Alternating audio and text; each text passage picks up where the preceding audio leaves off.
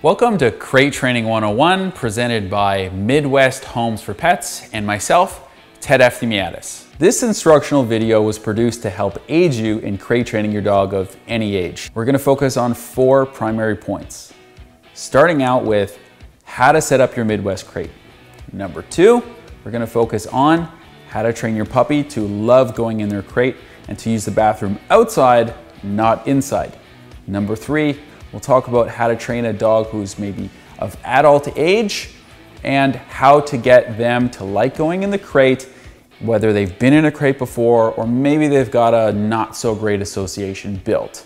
And number four, we're gonna discuss mild separation anxiety and containment phobia and how we can get our dogs over that anxiety. Dog crates can help prevent and stop many common behavioral problems seen in dogs, such as excessive chewing, destructive behavior when you've left the home. And like people, dogs also need a little bit of space to themselves. But of course, crate training has to be done properly, and that's what this video will teach you. I know that as a professional dog trainer, the major reasons why dogs are surrendered to animal shelters are absolutely preventable. Unfortunately, in North America alone, a half a million dogs are surrendered to different organizations and shelters and are euthanized because of very commonly occurring behavioral problems that in most cases are preventable. I've personally crate trained every dog that I've ever owned and they've all turned out to love their crates with just a week or two of training. But I wanna be completely transparent in saying not every dog will love the crate the second that they see it. Maybe they've got a negative association built towards it already, and that can be a bit of a challenge because some dogs can be a little bit resistant. I often hear professional dog trainers suggesting that all dogs will absolutely love their crate the moment they see it because dogs have a natural denning instinct. But here's the thing. Dens don't have doors, which means it can take some dogs a little bit of getting used to, especially when we start actually closing that door. This is why a lot of guidance and training and patience is gonna be really important as we crate train your dog. This video will help reduce the likelihood of these behavioral problems even manifesting in the first place. And it's our hope that it will help thousands, maybe millions of dogs stay in their loving homes forever. So grab a pen, a piece of paper, get ready to write down some notes.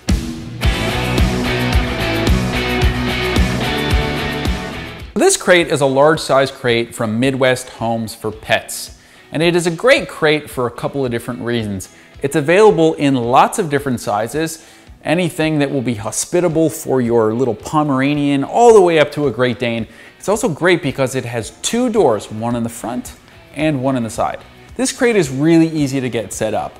You're just gonna fold out one edge and then when you move it to the other direction, you're gonna see that it's gonna pop up into position. Then you find the front of the crate and you're gonna pull it back until it locks into position. Then you're gonna find the rear section of the crate and you're gonna pull it from the inside towards the outside of the crate. Make sure that all of your connections are properly met here and you can check your instructions to make sure that you do this properly. I've chosen a large size crate for the next segment that we're gonna be shooting with this adorable little puppy named Boom because he's really small right now, but of course he's gonna be getting a lot bigger as the weeks and months move on. Of course, being a puppy, we wanna train him to use the bathroom outside, so we don't wanna give him this massive crate to start crate training with, because oftentimes what will happen is our dogs will pee on one corner and then they'll go have a little snooze on the other side. So this specific crate comes with a great feature, which is a dividing panel. So I can divide the crate into sections, and as my puppy gets a little bit older and a little bit bigger, I can make the sections a little bit bigger as they need a little bit more room. So this is a great feature to have if you have a puppy and you're house training them, showing them to use the bathroom outside, not inside.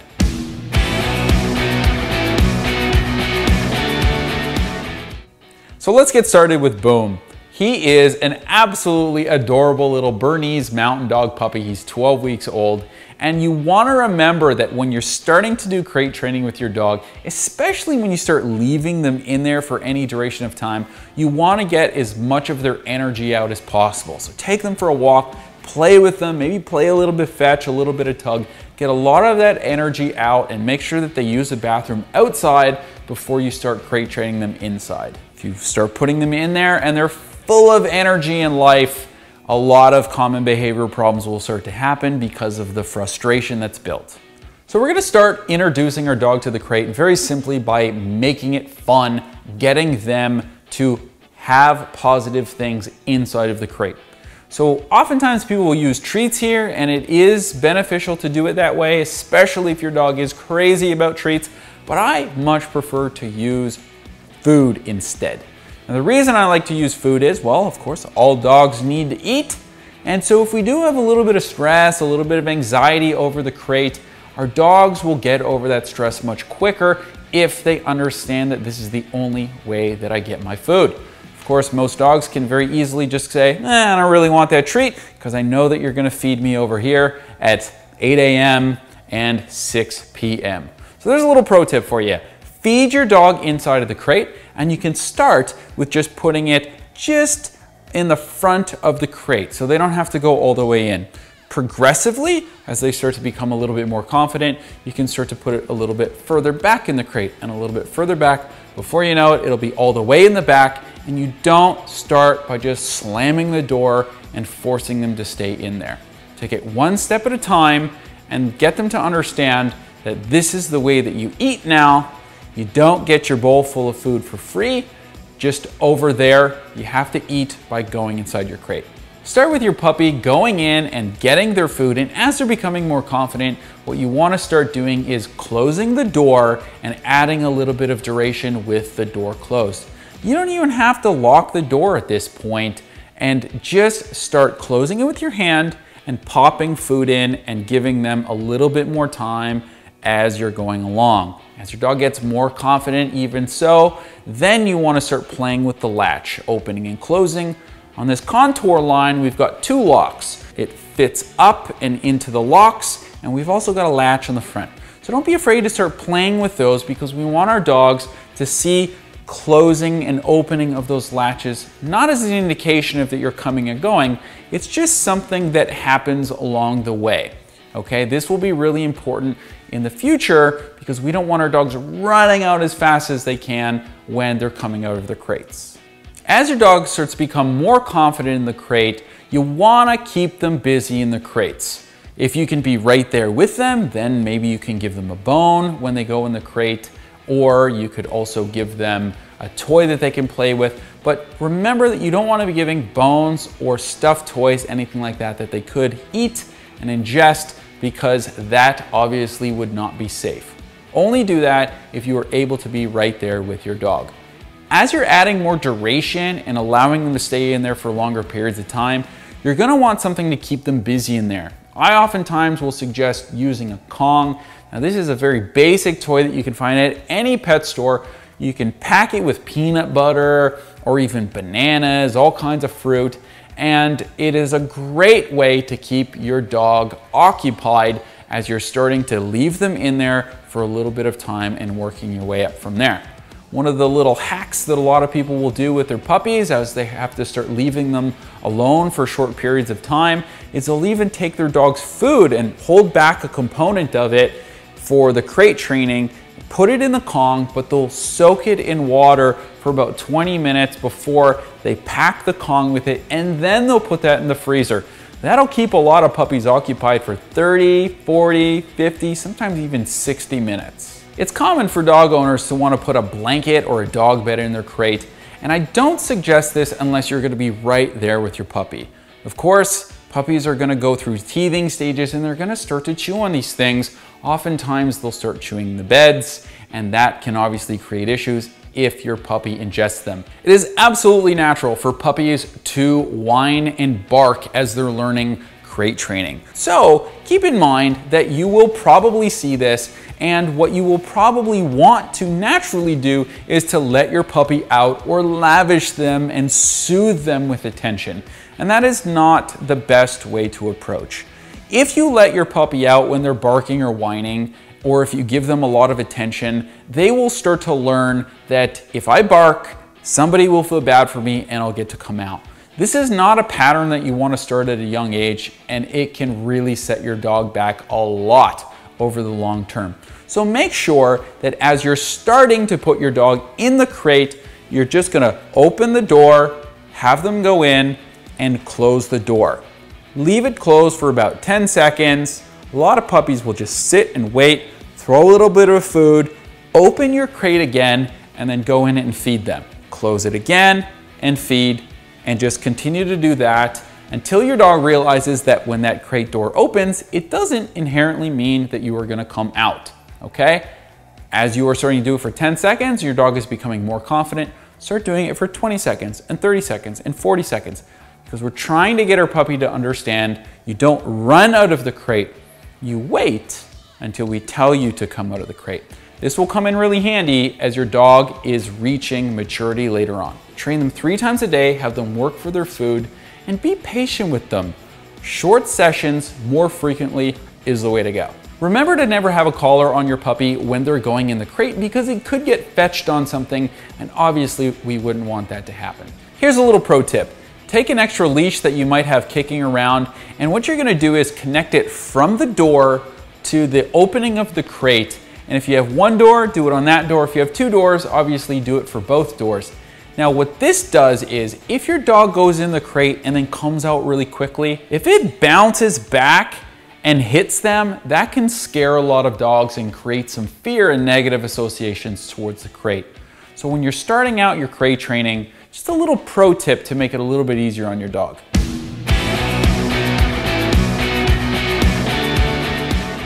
As we talk about house training our puppies, we need to know how long they can stay in the house or in the crate without actually having to go out and use a bathroom. How big are their bladders? How long can they actually hold it? There's a really basic general rule that dog trainers use, which is take the amount of months old that your dog is. So in this case with Boom, he is three months old, and add one to it, and that's gonna give you the amount of hours that you can use to determine how long your dog will be able to stay inside without having to use a bathroom. So with Boom, he is three months old, and if we add one to it, that gives us four, which means he can stay in that crate without having to go outside or even be inside the house with us for a maximum of four hours. When you take your puppy out for a pee, you wanna make sure that if they come from the crate, you pick them up, you put a leash on them, and then you take them outside. A lot of people don't do this step and what happens is on the way from the crate to the back door, the puppy will stop and use the bathroom. This is obviously not what we want and will start a negative pattern. So pick them up, bring them outside, and walk them to the same area so they can continuously use the bathroom in the same place. It's a really, really key thing that if you get them into the right pattern, they will always use the bathroom in the same place instead of peeing all over your shrubs and having all these white spots all over your yard. They'll only pee in one place that you've appointed. When your puppy is using the bathroom outside, you wanna make sure not to make a really big deal out of the fact that they're peeing. Oftentimes I see clients making this huge party about the fact that their dog is peeing, and that can be a little bit counterproductive. So if your dog is peeing outside, you just wanna be calm with the praise that you give them. Wait for them to pee, and then afterwards say, good boy, add a good boy or good girl, and then if you want to, you can give them a treat. Oftentimes, if you make a big party out of it when they're peeing, they will actually stop midstream, and then it looks like they're done, they'll come back inside and they'll use the bathroom. Of course, that's not what we want. A few things to keep in mind if your puppy is making mistakes inside the house. Firstly, use a proper cleaner. So a proper cleaner is gonna break down the biological matter that is in your dog's urine. So typically, you have to buy these cleaners at pet stores so that you know that they're gonna be capable of doing a job. If not, your dog may be able to smell where they peed for months, even years, and oftentimes will go back to that same spot. Hear this from clients all the time. If their puppies walk downstairs and use the bathroom, they will go down there literally for years and use the bathroom. So another key element is understanding that if your puppy is making a lot of mistakes, you wanna use tethering. Tethering is just having a belt around your waist and having a leash that comes off of that ensuring that your dog is always coming around walking with you. So use tethering to decrease the odds of your puppy having an unnecessary accident. And of course, be patient. Some dogs figure this out in a very short amount of time, three to five days sometimes. Sometimes they take a little bit longer, like maybe a week to two weeks. I've even seen puppies take a few months to really get a good handle on it.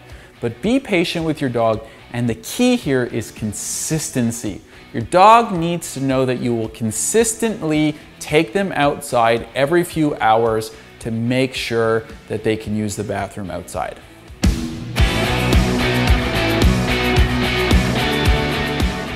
So Boom's been working on his crate training for about a week and a half now, and he's doing pretty good. Now he lives in kind of the ideal situation, which is there's multiple people that live in the home with them. So if his owner is not home, somebody else can take him out every once in a while and then bring him back in. So you wanna keep in mind that if you don't live in a household like that, you might have to hire one of your friends or a neighbors or a dog walker.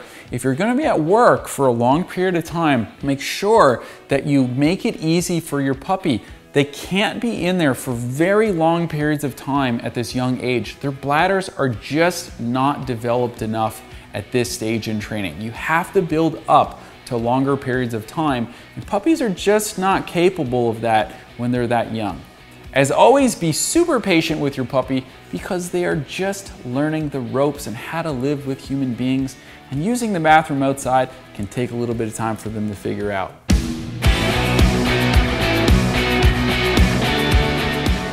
It tends to be a little bit more challenging to train an adult dog to be accepting of the crate as opposed to a puppy because a lot of times they're used to having a lot more freedom inside the house and a lot of older dogs can see this as being a little bit restrictive. Very frequently, I have dog owners that contact me with dogs between the ages of six months and two years saying, I can't leave my dog alone because he chews things or he destroys things inside my house.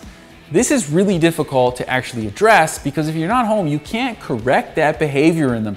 You can't reinforce them for good behavior, not chewing. You can't correct them for doing something bad. So crate training is of great value for dogs between this age bracket. I know none of my dogs could be trusted for any period of time until they were about two and a half years old. This is typically the norm, two and a half to three years old. And oftentimes people will start to give their dogs too much freedom that they haven't earned at younger ages, and this can be a huge problem because the only way to address it is to prevent it. So let's get started with Louie. Louie is the next and final dog in the video, and as you'll notice, I'm not using a whole lot of words as I'm communicating with Louie. That's because he is completely deaf. So he's a five-year-old rescue dog and just such a cool dog. I've just fallen in love with Louie and unfortunately, from what we understand, he's probably built a bit of a negative association with the crate.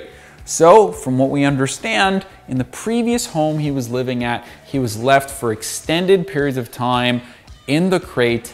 And unfortunately, there was also another dog that he was living with that, as I understand it, was also torturing him a little bit inside of that crate. So, let it be known that if you have multiple dogs, don't allow your dogs to do this to one another because it can actually help promote negative associations, which is not fair to the dog who's gonna be in the crate. So Louie should be good and hungry. Typically he eats his breakfast at about 8 a.m. It's now 1 p.m. and he's not eaten anything all day. So we're gonna use that desire for his food as we are starting to do our crate training.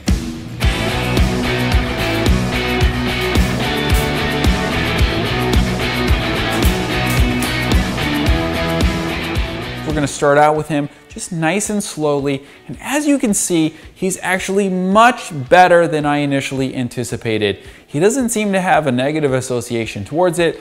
His food drive is getting him over any potential negative associations that he has, but still, I'm gonna go one step at a time. I'll keep both of my doors open so that he feels like there's a little bit more options available, like he can come out of the front or he can come out of the side. Of course, I wanna use my leashes to ensure that those doors are not gonna slap him as he is coming in and out and potentially scare him. By far, the largest thing that people do incorrectly with crate training is asking their dog to stay in the crate for a long period of time without actually building up to that. you need to remember that you can't just put your dog in there, get them to, you know, have some positive associations, just leave them in there for eight or nine hours when you go for work. It doesn't work that way. Oftentimes, this will lead to separation anxiety, containment phobia, as we're gonna talk about later in the video, and you want to remember that your dog has to build up to that. So the thing that you wanna remember is you wanna actually use your weekends and your weeknights when you're not at work for your training. Now I know that this is completely counterintuitive to what you're probably thinking. When I'm at home with my dog, they should have freedom to be around me. The problem is, is that you can't build up to that time unless you're home to actually build up to that time. So you wanna use your nights. Come home from work, let your dog out, take them out for a walk, get them tired out, and then maybe do your food in the crate and have them go in for another few hours. And then take them out, use the bathroom, and cycle through those things. So I oftentimes refer to this as the weekend training model. And basically, you're gonna use the time that you're home with your dog effectively so that when Monday morning comes, it won't be such a shock to your dog's system.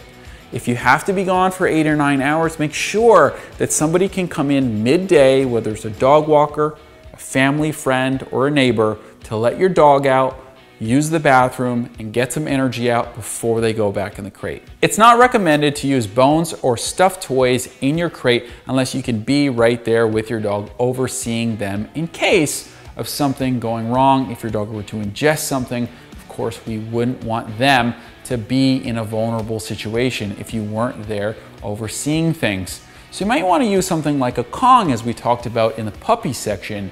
You can take their food, water it down, stuff the Kong with it and put it in the freezer. That will take them 60 minutes sometimes to be able to actually get that out and it will keep them occupied. If you feed your dog raw food, you can do that as well too. You can stuff it in there, put it in the freezer, take them a little while. There's a couple other little things that you can do that will make the time a little bit easier on your dog. So the first thing is, behind me I've got a diffuser going with some lavender oil. I use it every single day in my dog training facility and it absolutely helps to just be a little bit calmer. Another thing that you can do is purchase a quiet time crate cover. This is made by Midwest Homes for Pets and they are specifically designed for the crate that you are using with your dog. So it's gonna fit absolutely perfectly. This is great for dogs that have too much happening all around them. So sometimes dogs will be very visually fixated and they're always looking out the windows and they see a little bird and they start to bark and things can be a lot more intricate if your dog is constantly being visually stimulated. So take a look at the Quiet Time crate cover for your crate. As mentioned in the puppy training section, we talked about getting our puppies to work for their food by going in the crate. If you only feed your adult dog inside the crate, they may be a little bit leery of it for a couple of minutes, a couple of hours, maybe even a couple of days. Once they start to realize that this is the only access that they get to food, they're going to start to love going in the crate. I have literally done this process with over 500 dogs that hated going in crates and they all love going in the crates and they'll stay inside of the crates because they understand this is the way that I eat. So very simply, if you put the food in there, if they don't want to take it, then take the food out, wait another eight or so hours, and then try again. By that point, they should be hungry and they should be much more motivated to going inside of the crate. As we talked about in the puppy section, you're gonna start by just putting the food just at the beginning of the crate and then start moving it back further and further and further. I personally like to just take the food and just put it in the back and not even put it in a bowl. I find that they will eat it very, very quickly. If it's in a bowl, I like to just spread it out towards the back of the crate. It takes them a little bit longer to actually eat the food. How do you know how long your dog is capable of staying in that crate for?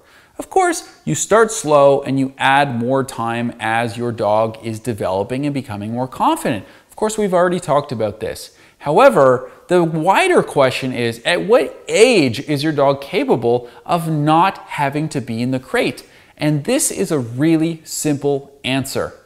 When you start giving your dog that freedom to not be in the crate as you leave the house, When you come home and you're starting to see that your dog has been chewing on things and has started regressing in their training, they are not capable of being alone without getting into some mischief. And so you have to go back to the crate until they're a little bit older and start making wiser choices. As mentioned in the puppy section, never put your dog in the crate with a leash or a collar on.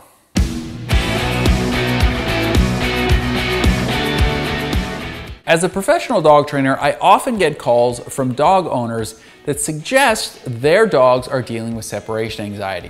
And of course, separation anxiety is a very real thing and a huge struggle for some dogs.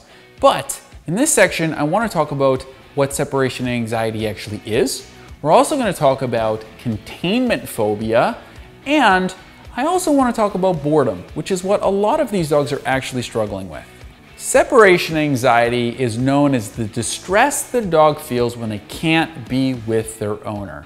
Common behavioral problems include excessive barking, destructive chewing, soiling in the house, and even self-harm or self-mutilation. Boredom is often misdiagnosed as separation anxiety. It's really easy to tell if your dog is just bored. Typically, these dogs are between the ages of six months and two years, as we talked about earlier, and Typically, if they are exercised out in the yard or go for a walk and come back inside, usually the destructive behavior and the chewing and the excessive barking will not start to manifest until a few hours after their owners left. They've had a nap, they've got up, they've got nothing to do, and so they start chewing on the plant or they start wrecking the sofa. The dog with separation anxiety, unfortunately, those triggers start a lot sooner.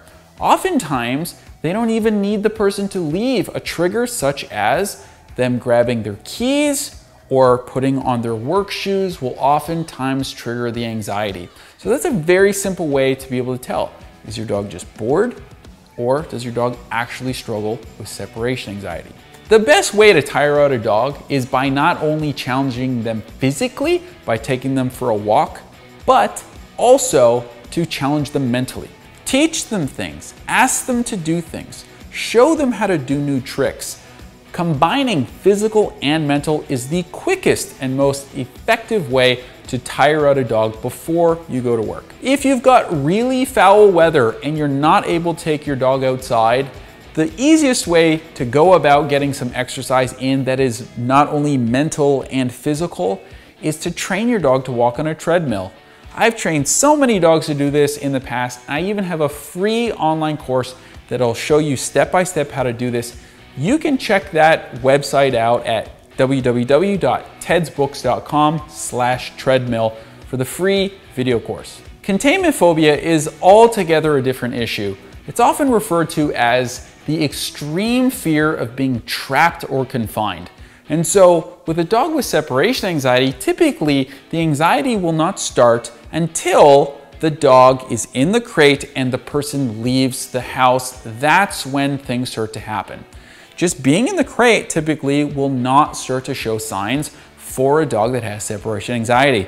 For a dog who has containment phobia, the moment they go in there and the door closes, the situation starts to escalate.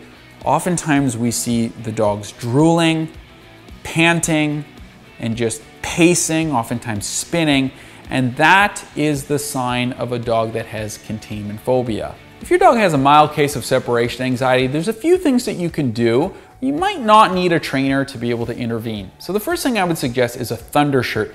As you can see with Louie here, he's got this tightly fitted shirt and basically what it does is it operates under the premise that if this dog is wearing something very tightly fitted, it's gonna give them the nurturing feeling that like a baby, an infant may have as they're being swaddled with a blanket. I've seen it work with dogs who are terrified of thunder and lightning, dogs that are terrified of fireworks, dogs with anxiety. I've seen it with dogs with some separation anxiety as well too, especially the milder cases. So it can be very, very, very beneficial. Give it a try. Another thing that I oftentimes suggest is if your dog is starting to nibble on the front of the bars, this is a product called Bitter Apple Spray. Again, this does not work for every single dog, but if you spray this on the inside of the kennel, especially on the front where the door is, what's gonna happen is once your dog starts to lick and to nibble on those bars, it's gonna taste really, really bad. And I've seen this product stop dogs from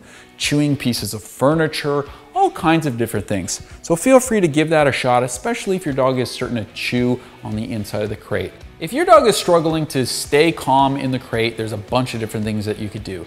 The first thing that I would suggest is look at the surroundings. Is there loud noises that they're picking up on and creating these promptings for the excessive barking? Are they looking out a window and that's creating some issues? So maybe you have to purchase a crate cover so that they're not as visually stimulated on certain things. Maybe you haven't set up a fan, maybe you haven't set up music to keep them focused on something else. Another thing that you can do is there's lots of different apps that you can get that allow you to set up cameras so that you can actually view your dog when you're away from home. These cameras allow you to see your dog through the camera. And if your device is in front of the crate, they can also see you, which can help them stay calmer. You can talk to them almost like a walkie-talkie, which can also kind of help soothe them from time to time. Or if they start barking a little bit too much, you can say, hey, that's too much. I'm right here with you. You don't need to be doing that. If your dog is barking, it will count every day. My dog barked this amount of times so that you can keep track of is my dog barking more, is my dog barking less, and so on and so forth. Another thing that I would highly suggest is have a dinner party, have your friends over, and record your conversation. Record two, three, four hours, and then when you leave for work, play that recording so that your dog can hear it and put it on loop so that it just loops all day long. Oftentimes that can be enough to soothe the average dog to get them over that little bit of anxiety just because there's the comfort of hearing your voice. When your dog is doing really well in the crate and you want to start to give them a little bit of extra freedom inside the home, the Pet Gate by Midwest Homes for Pets can be a really great tool to have inside your home to help you make that transition. It was super easy for me to set up in my own home. As you can see, I'm doing it here with my cute little daughter, Athena, and we did it literally in under five minutes. It's also a really great tool if you've got a dog who's maybe getting into your cat food or your dog likes to run out of the front door and runs around in the front yard. That can be really dangerous, of course. Or maybe you have people coming over and you just want to have a little bit of separation there because your dog is a little bit anxious around new people the Pet Gate is a great solution for you. And I'll leave you with this. If your dog has extreme separation anxiety, is breaking out of the crate, or really bad containment phobia, please do yourself and your dog a favor. Contact a good trainer in your area that knows how to work with dogs like this because it is really important that you have somebody come into your home and walk you through it step by step.